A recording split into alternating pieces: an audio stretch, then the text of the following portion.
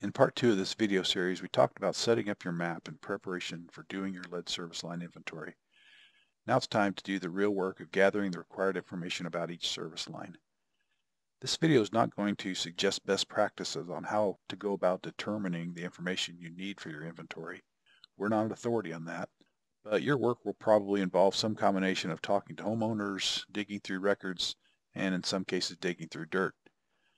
In this video, I am going to show you some techniques on how to record your findings onto the map. And then in the next video, we'll discuss how to put this information into an official report. The examples in this video assume you already have the locations of your service lines marked on your map. If you don't, you might want to sit down with your meter reader and do this. First, zoom in on the map to the location of a water service. Click the Draw button, select your Water Services layer, this is the layer we set up in the previous video. Click the point button and then click on the map.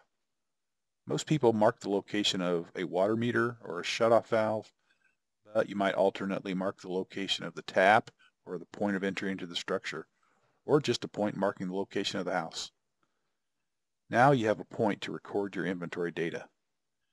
And plotting your point this way also records the latitude-longitude coordinates of the service in case you need that information. Now, assuming there is already a point on the map marking the service location, click on it, scroll down to the service line inventory section, and answer all the questions listed there. Some of the fields will have pick lists for you to choose from.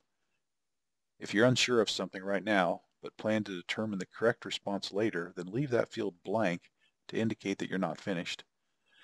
But if you've exhausted all your options in determining the answer to one of these questions, then you might want to choose unknown or whatever the equivalent choice is to indicate that you're done with this field.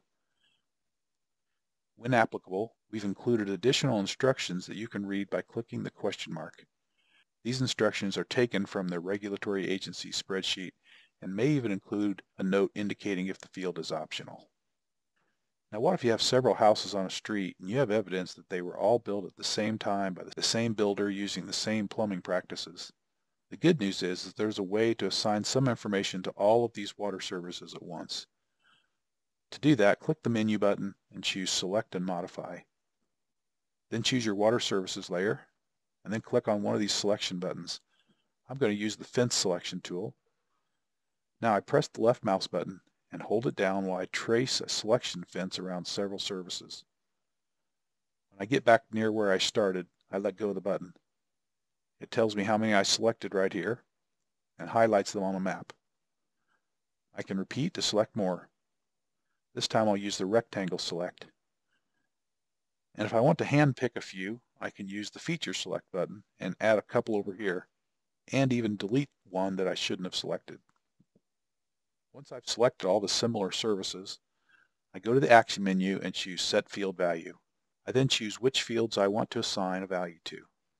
For example, I'm going to say that all of these services have a customer material of copper and a waterside material of PVC and a year built of 1995 and whatever else you want to enter here. After I click apply, we can see that it's assigned this information to all of these points. And I can still go back and change the information for single services if I want to. A few final points about recording your inventory. First, if you haven't done so already, ask your county for a shapefile of the parcels for your service area. You can then overlay these on your map. If you need help with that, just send it to us. This parcel layer will at least show you the property owner and may contain other information. Second, your county may have a public website with the GIS information on it. If so, it probably contains even more information such as when the structure was built and possibly even inspection details. This video continues next with part 4 describing how to take all this information you've collected and insert it into a report.